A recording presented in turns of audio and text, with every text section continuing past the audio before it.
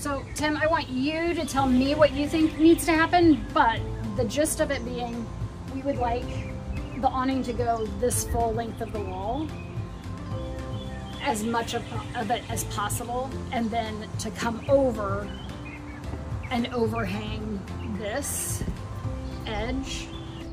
Right now, Tim from Solar Shields, who does all my blinds and drapes and all this stuff, he is awesome and he's at my house right now installing a, a retractable awning over our favorite spot on the deck to sit.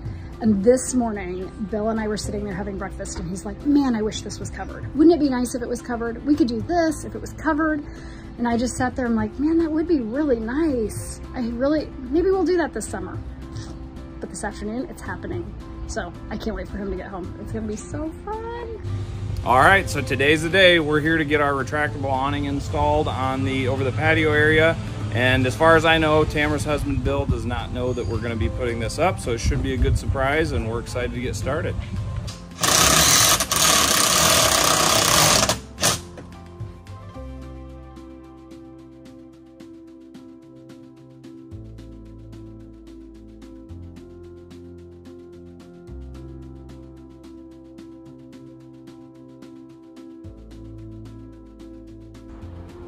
Hey Bill, happy Father's Day from Solar Shield and your wife Tamara.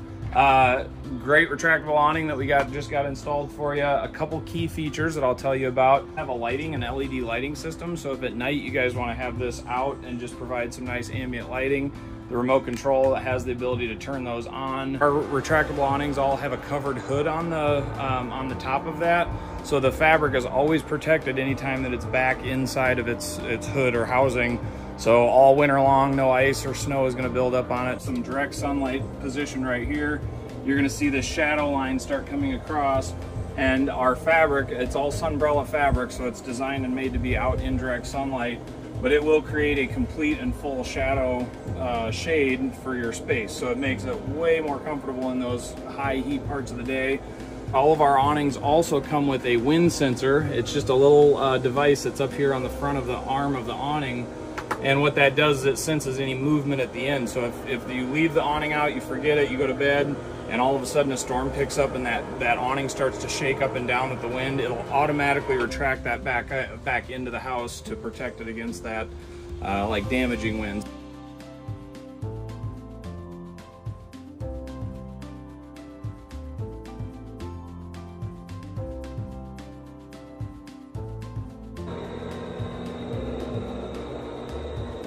That's incredible.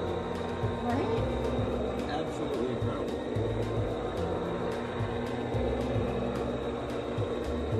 How did, how did this happen? How this happen? Solar Shields. Tim with Solar Shields got it installed this afternoon and has sent me all these great videos of how to work it because I couldn't be here because I was doing the reveal. How's it, where's the electric, electricity? It's ran down the wall into this power outlet right behind the couch. Oh, I see, okay. He did a great job of hiding it. Yeah.